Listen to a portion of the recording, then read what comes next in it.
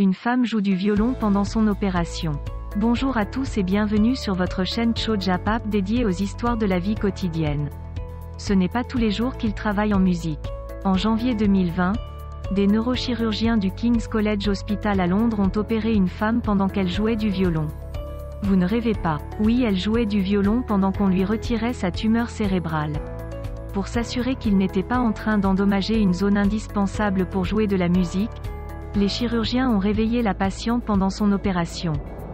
Mais avant de rentrer dans le détail, merci de cliquer sur j'aime, de vous abonner massivement et surtout d'activer la cloche de notification si ce n'est pas déjà fait. N'hésitez pas à faire un tour sur notre chaîne Chojapap afin de découvrir toutes nos histoires aussi croustillantes et ahurissantes les unes que les autres.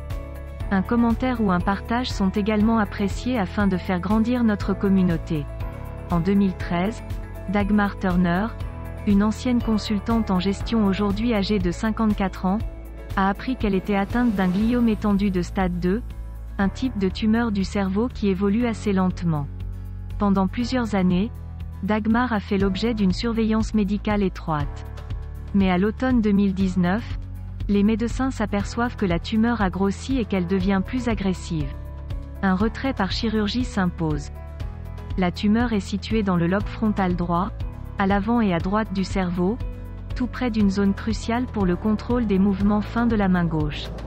Pour les médecins, l'objectif était de parvenir à lui retirer une tumeur cérébrale en évitant d'abîmer par inadvertance les zones impliquées dans les mouvements de sa main gauche. L'opération était risquée, le moindre faux pas des chirurgiens peut faire perdre à Dagmar l'usage de sa main. Or celle-ci est indispensable à sa pratique du violon, sa passion.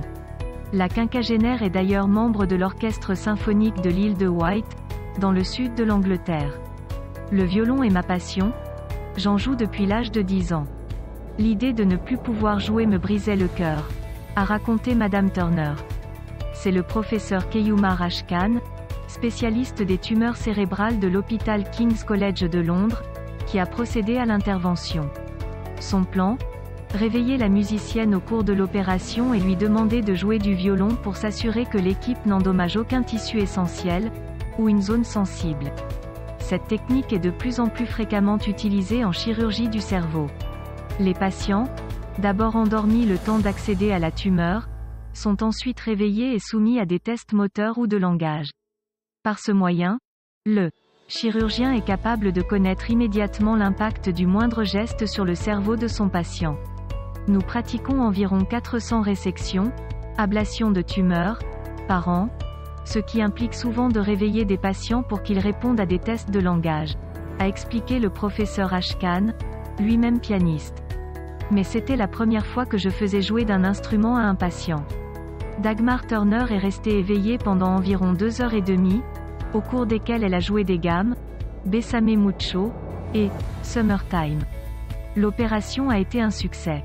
90% de la tumeur a été enlevée, dont toutes les zones suspectées d'activité agressive, tout en permettant à la violoniste de conserver le plein usage de sa main gauche. Grâce à eux, j'espère pouvoir réintégrer mon orchestre très bientôt. C'est féliciter Madame Turner, qui est sortie de l'hôpital trois jours après son opération et a pu retrouver son mari et son fils de 13 ans. Ce type d'opération n'est pas une première. En 2017, un jeune homme saxophoniste professionnel, avait également été opéré dans les mêmes conditions pour une tumeur cérébrale. C'est impressionnant de voir les avancées de la médecine. Et vous, quelle est votre opinion sur cette prouesse de la médecine? Connaissez-vous des histoires similaires d'opérations spectaculaires en musique ou en chanson? Merci de nous le dire en commentaire. Si cette vidéo vous a plu, merci de cliquer sur j'aime, et de vous abonner massivement et de la partager autour de vous. A très vite sur Chojapap pour de nouvelles histoires aussi étonnantes qu'ahurissantes.